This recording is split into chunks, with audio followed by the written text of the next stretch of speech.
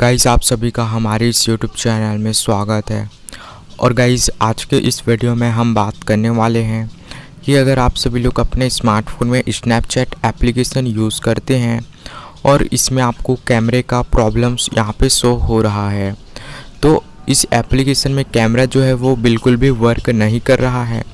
तो आज के इस वीडियो में मैं आप सभी को इसका सॉल्यूशन बताने वाला हूँ कि कैसे आप सभी लोग इस प्रॉब्लम को सॉल्व कर सकते हैं। तो गाइज़ आप सभी लोग इस वीडियो को पूरा एंड तक वॉच करिए और अभी तक आपने इस वीडियो को लाइक नहीं किया है तो लाइक कर दीजिए और हमारे चैनल को सब्सक्राइब कर लीजिए। सो गाइज़ चलिए वीडियो स्टार्ट करते हैं। तो यहाँ पे मैं आपको बताऊँगा दोस्तों कि कैसे आप इसमें कैमरा प्रॉब्लम को सॉल्व कर सकते हैं।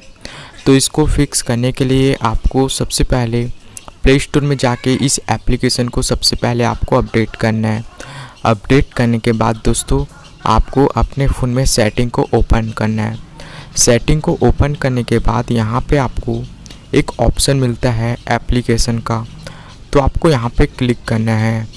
यहाँ पे क्लिक करने के बाद आपको मैनेज ऐप्स का ऑप्शन मिलेगा। तो आपको यहाँ पे क्लिक कर लेना है। यहाँ पे क्लिक करने के बाद दोस्तों आपके सामने एक नया पेज ओपन हो जाता है।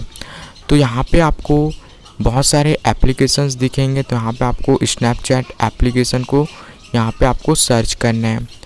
तो यहाँ पे आप लिख के भी सर्च कर सकते हैं दोस्तों। तो यहाँ पे जो एप्लीकेशन है वो आपके सामने आ जाएगा। तो अब आपको इस एप्लीकेशन को ओपन करना है। ओपन करने के बाद यहाँ पे आपको स्टोरेज का ऑप्शन मिलेगा। तो आपको यहाँ पे क्लिक करना है। यहाँ पे क्लिक करने के बाद आपको सबसे पहले डाटा क्लियर करना है, यानी कि क्लियर कैचे करना है। उसके बाद दोस्तों यहाँ पे आपको एक ऑप्शन मिलता है एप्लीकेशन परमिशन का। या तो फिर ऐप परमिशन का ऑप्शन मिलेगा।